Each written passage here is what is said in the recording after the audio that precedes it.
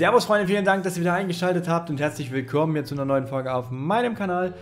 Wir kommen heute mal, beziehungsweise kläre ich heute mal die Frage auf, ähm, da sie des Öfteren im Stream kommt, wenn wir gerade so über meine Pfeifen reden oder über all, allgemein über das Thema Pfeifen im Stream, ähm, wie ich denn eigentlich meine VZ sauber mache, worauf ich achten muss und was für Hilfsmittel ich verwende dafür. Das möchte ich euch heute hier in diesem Video zeigen. Also würde ich sagen, bleibt dran und jetzt viel Spaß beim Video, Freunde. Ja, Freunde, vorab ähm, braucht ihr logischerweise eine VZ, um das zu machen. Ähm, ich habe meine jetzt hier. Ich habe das Ganze schon lange nicht mehr sauber gemacht. Wie ihr auch hier oben sehen könnt, diese schwarzen Flecken sind nicht normal normalerweise glänzt. Das Ganze relativ schön. Ich habe euch auch mal zwei Bilder abfotografiert von Rauchsäule und Teller. Nochmal quasi eine Nahaufnahme. Die blende ich euch an der Stelle hier mal ein. So, da habt ihr es gesehen. Das Ganze ist schon mühtreckig. Das war jetzt kompletter Sprachfehler. Das Ganze ist ein mühdreckig, wollte ich sagen. Ähm, ich will auch jetzt hier nicht speziell darauf eingehen, wie ich die Bowl sauber mache. Ich denke, das werdet ihr alle kennen. Spültab, Schmand weg, gibt's genug. Ähm, ich will eher darauf eingehen, wie ihr quasi diesen Kupferteil hier sauber macht, ohne dass ihr irgendwelche Wasserflecken drauf habt, weil ihr wisst, das Ding, ich nenne es mal oxidiert, ich glaube, das heißt so, mit der Luft und dadurch bilden sich halt wie hier oben auf dem Kohleteller, wie ihr das hier so ein bisschen sehen könnt, diese schwarzen Flecken. Wie ihr die Bowl sauber macht, wie gesagt, ich denke, das wisst ihr von alleine. Ja, Freunde, was brauche ich, um meine VZ richtig ordentlich sauber zu machen? Ich brauche einmal zwei Paar Handschuhe. Warum zwei Paar? Weil ich meistens zu blöd bin, und, um eins nur zu verwenden. Ich sau meistens zwei ein, deswegen lege ich mir prinzipiell einfach immer zwei Paar hin. Aber ich empfehle euch, legt euch solche Gummihandschuhe dazu, weil ihr macht ihr euch die Pfoten nicht. Die Pfoten ist auch typisch sexy. Die Hände nicht dreckig. Ähm, Im Sinne dreckig kommen wir gleich dazu, warum die Handschuhe. Dann nehme ich hier so einen schönen Pinsel. Warum nehme ich diesen Pinsel? Der eine oder andere wird sagen so, das kannst du doch einreiben. Ja, könnte ich. Aber mit dem Pinsel komme ich hier einwandfrei, nämlich in diese Rillen, die ihr hier seht. Jetzt seht ihr das gerade nicht. Hier in diese Rillen komme ich da einwandfrei und vor allem komme ich auch hier in diese Zwischenräume sehr gut mit dem Pinsel rein. Deswegen nehme ich den Pinsel. Wie ich das Ganze natürlich auch mache, zeige ich euch noch im Video. Und ganz wichtig, kann man nehmen, muss man nicht. Kriegt man schon relativ günstig auf Amazon. Und zwar habe ich Kupfer Messing Reinigungscreme. Das Ganze ist eine Art Paste. Bei meiner ist jetzt hier eine Art Schwämmchen dabei. Den nehme ich eher selten. Der ist dabei, damit ihr den ganzen Lachs einreiben könnt. So, und dann sieht das Ganze, ich sag mal, wie so Rauchpaste, die ja in den Kopf haut, aus. Ähm, und das Ganze braucht er dazu. Ähm, das läuft dann folgendermaßen ab. Ich schmiere die VZ ein, das zeige ich euch dann auch irgendwie nochmal im Schnelldurchlauf ähm, und lasse das Ganze dann ein paar Minuten einwirken und dann kommen wir nämlich zum Reinigungsprozess. So Freunde, dann würde ich sagen, an der Stelle ziehe ich mir die Handschuhe an, ihr werdet das Ganze jetzt hier im Schnelldurchlauf sehen und zeige euch quasi so, wie ich den ganzen Bums sauber mache und dann wünsche ich euch jetzt viel Spaß beim Schnelldurchlauf und dann putzen wir das Ding mal und vergleichen mal, ob wir das Ding wieder glänzend bekommen.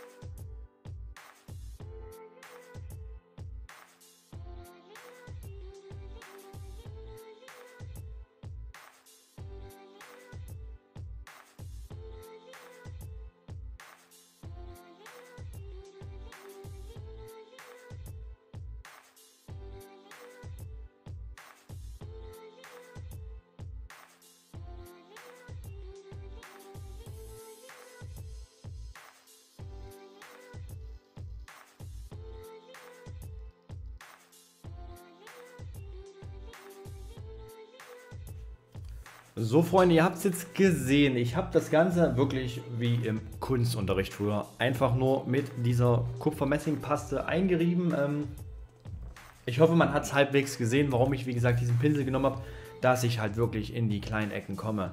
Ähm, ich sage es auch im Stream ganz oft. Wer überlegt, sich eine VZ zu holen, muss sich bewusst sein, dass das Ding wirklich Pflege braucht. Ich mache diesen Vorgang jetzt nicht aller vier Wochen oder so. Ähm, ich mache das vielleicht im Vierteljahr einmal. Ein, zweimal mache ich das, je nachdem auch wie ich selber Lust habe. Ähm, und dann mache ich das. Ihr müsst das jetzt nicht jede Woche oder je, alle vier Wochen machen. Ihr könnt das machen, müsst es aber nicht. Ähm, der nächste Schritt sieht so aus, dass ich das Ganze jetzt einziehen lasse. In der Zeit baue ich mir ein Köpfchen und mache mir eine Pfeife an.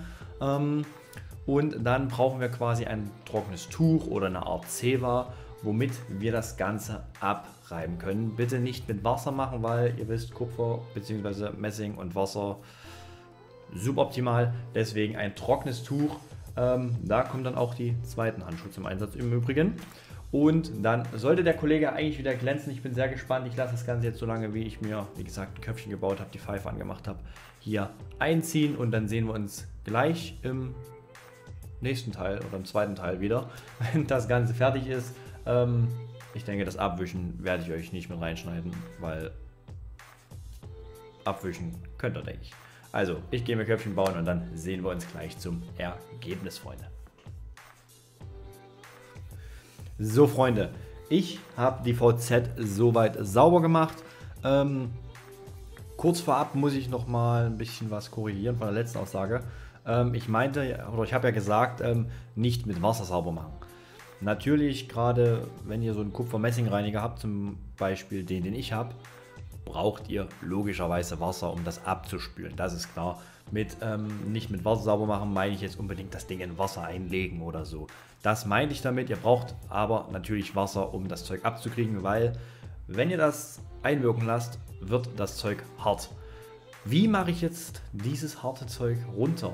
Da empfehle ich euch, entweder ihr habt eine Drahtbürste, die jetzt nicht unbedingt zu stark ist, dass ihr euch das Ding quasi zerkratzt. Das muss jetzt nicht unbedingt sein, sieht auch nicht cool aus. Ähm, ich empfehle euch da so ein, das nimmt man für Töpfe, so ich nenne es mal Stahlschwamm. So nenne ich das Ding jetzt einfach mal. Ich denke, ihr werdet wissen, was ich meine.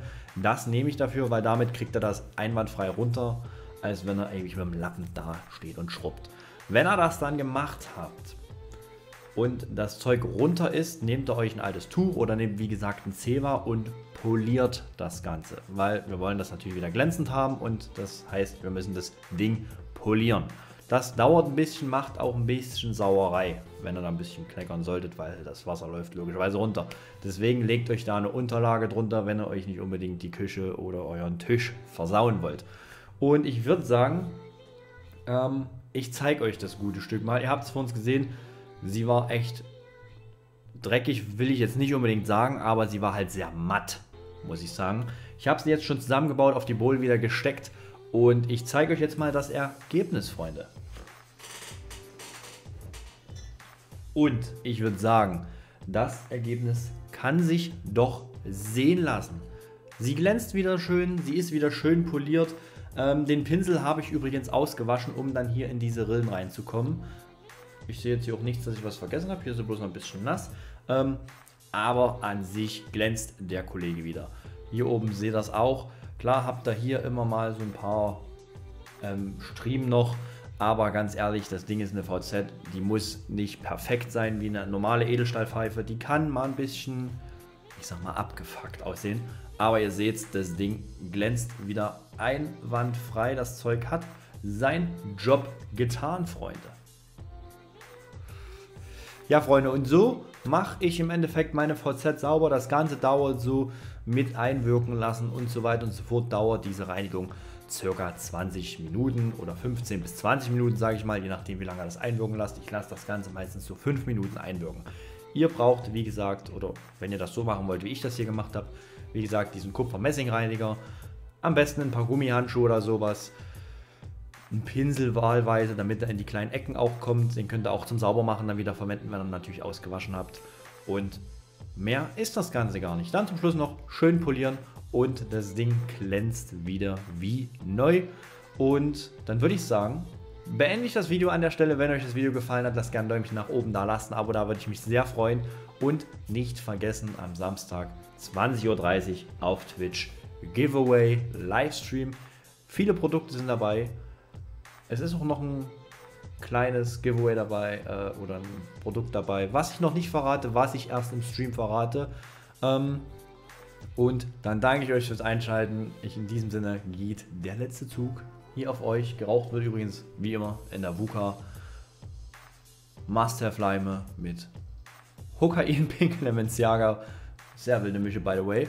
Und jetzt der letzte Zug auf euch. Ich wünsche euch eine entspannte Restwoche. Wir sehen uns Freitag zum neuen Video oder dann spätestens natürlich zum Livestream auf Twitch, zum Giveaway, Freunde.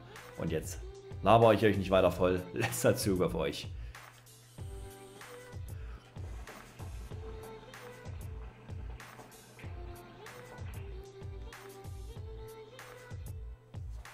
Reingehalten.